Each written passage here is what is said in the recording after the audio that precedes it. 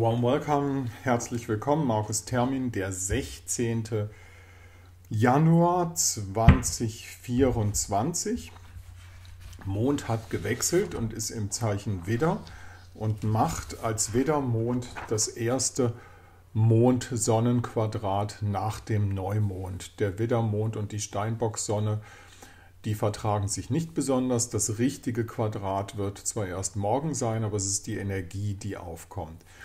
Was bleibt und was sich nicht ändert, ist, ich werde nicht müde, es zu erwähnen, die Rezeption zwischen Venus und Jupiter, eine feine Sache. Und ähm, ansonsten, wir haben dieses, dieses Steinbock-Stellium da oben, Pluto wirklich auf dem letzten Rand zum Überwechseln ins Jungfrauzeichen. Das Steinbock-Stellium ist natürlich die, die, die Ansammlung der regulativen Ordnungsmechanismen, ähm, die quasi in einem letzten Aufbäumen, so sehe ich es, ähm, sich ähm, zusammenrotten, so könnte man das sagen. das ist die Situation.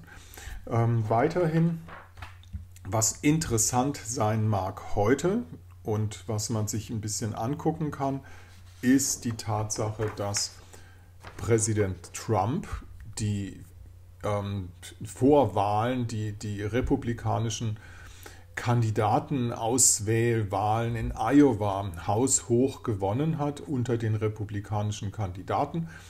Äh, was interessant ist, dann wird es noch ein paar ähm, Wahlereignisse in diesem Sinne geben und dann werden sich alle Kandidaten hinter den ehemaligen Präsidenten stellen und wir sehen, während das passiert, ist die Venus im Zeichen Schütze direkt über dieser Vollmondkonstellation von Uranus Zwillinge Präsident Donald Trump.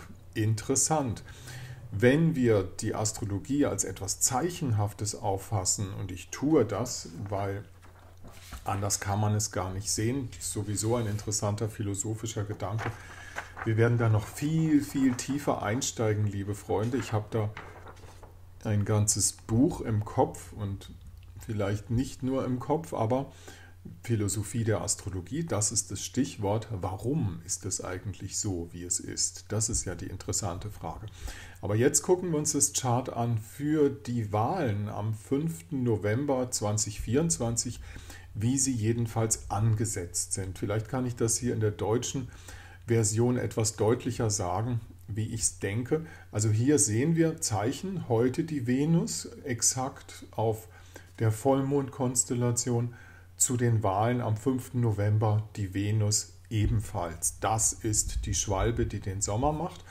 Und da oben sehen Sie auch ganz genau Jupiter exakt über diesem Nordknoten Uranus-Sonnengeflecht, was er da oben im Zeichen Zwillinge hat rückläufig zur Wahl am 5. November, was auch wirklich super gut passt, weil rückläufig heißt ja wieder einsetzen, dass etwas wieder passiert. Jupiter ist dann nicht anders wie Merkur.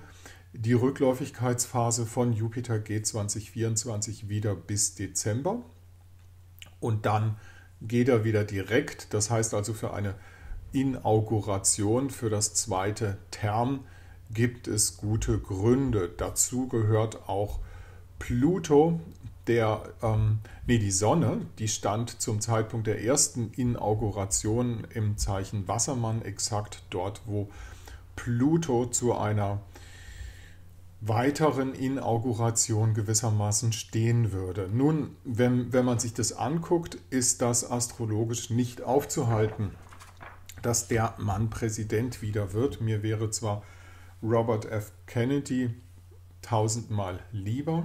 Aber wenn Trump es wieder wird, wir dürfen nicht vergessen, ähm, dass er, wie Whistleblower klargemacht haben, mit dieser ganzen inszenierten Geschichte natürlich absichtlich aus dem Amt gehievt worden ist. Und nun müssen wir fragen, können wir denjenigen, die jetzt an der Macht sind, die einfach die amerikanische Grenze aufmachen, die Kriege machen auf der ganzen Welt, können wir glauben, dass die einfach so Wahlen zulassen werden.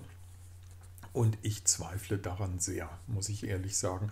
Eher versuchen sie einen großen Krieg vom Zaun zu brechen und das ist genau das, was im Augenblick insbesondere im Nahen Osten und natürlich auch in der Ukraine weiterhin passiert, weil diese Leute, die dort in Amerika an der Macht sind, sich nicht anders halten können. Und da ist halt, wenn man jetzt die, die Antwort derjenigen Staaten bedenkt, die da etwas mit dem Ganzen zu tun haben, dann hat man den Eindruck, die warten auch auf die Wahlen. Das heißt also, die machen jetzt da unten nicht unbedingt den großen Krieg, weil sie sich sagen, das wäre ja extrem dumm. In diese Falle laufen wir jetzt vielleicht erst einmal nicht rein. Das wäre ja dann positiv. Was bleibt dann noch als Möglichkeit, um Trump zu verhindern? Natürlich nur die üblichen Mittel und wir wissen, dass wir es mit Leuten zu tun haben, die völlig skrupellos sind und keine Grenzen kennen. Und insofern ist die Welt in einer gefährlichen Situation und man darf natürlich auch nicht denken, dass jetzt Trump irgendwie der Heilsbringer wäre, der jetzt irgendwie alles richtet. Ähm, der ist auch ähm, mit dem militärisch-industriellen ähm, Komplex in einer Art und Weise verbunden, dass er selbstverständlich will, dass die Europäer sehr, sehr viel mehr für Rüstung ausgeben obwohl er natürlich des Öfteren gesagt hat, dass er zumindest in der Lage wäre, diesen vermaledeiten Krieg innerhalb von 24 Stunden zu beenden. Nun muss man sich natürlich fragen, warum hat er das nicht gleich gemacht in seinem ersten Term? Ne? Kann man also sagen, also ich bin weit, weit davon entfernt zu sagen, oh, wenn Trump kommt, dann wird wieder alles gut. Aber was natürlich gut werden würde, ist, dass dieses ganze Wokistan und dieser ganze Wahnsinn, auch unter dem wir hierzulande leiden, natürlich dann in dem Sinne kein Backup mehr hätte. Das heißt also, die ganzen, die ganzen Damen und Herren, die sich hier mit dieser Ideologie äh, breit machen und glauben, den anderen befehlen zu können, die haben dann den großen Bruder nicht mehr hinter sich. Aber wie gesagt, das ist alles offen. Das heißt, wenn die Wahlen stattfinden, das wäre nicht das erste Mal, dass also große Kriege vom Zaun gebrochen werden, um einen schwachen Präsidenten, der natürlich ferngesteuert wird von seinen Hintermännern, im Amt zu halten. Die Umfragewerte in Amerika für, für Mr. Biden, für Präsident Biden sind katastrophal. Ähm, er hat nichts vorzuweisen, er hat keine Erfolge, er hat kein gar nichts.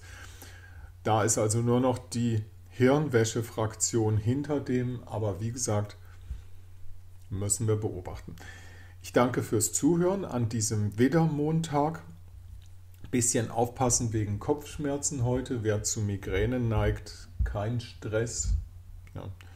paar Faktoren ausschalten. Widdermond ist berühmt für Migräne. Vielleicht habt ihr das heute dann eben nicht. Herzlich, äh, herzlichen Dank fürs Zuhören. Wer mit mir in Kontakt treten will für eine Beratung, sehr gerne da oben mit der Mailadresse. Unten im Blog steht, was es kostet. Ich freue mich sehr, wenn ihr das macht.